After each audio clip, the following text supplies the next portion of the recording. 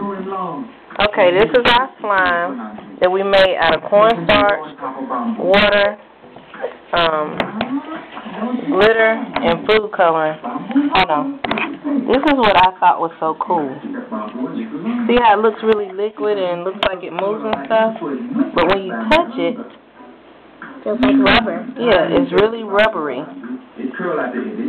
So, anyway, I thought that was kind of cool. You should make this at home, kids. Hold on. Okay, how did you like our experiment? Well, I loved it, and I think that we should do it again because it was a great experience.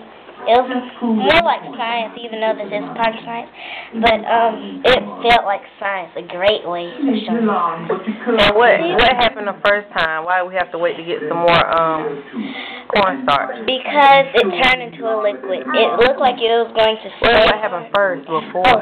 Um, well, when it mixed with cornstarch and water, um, it's it began to harden. But then when you mixed it up with the water, it started to turn into a real liquid. Like you couldn't, it wouldn't be like a rubber. But watch this. Separating back out. Ye- yep, kind of. Watch this, you guys. Looks like a see. It's a real slime. It it melts as soon as you move it. Haha, I get to touch it. I know you guys want to touch this stuff.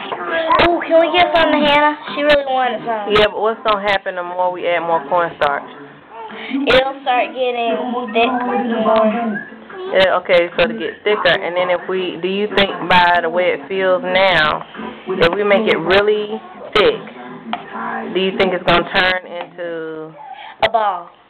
okay, and then will it be a ball that'll bounce? Um, You think?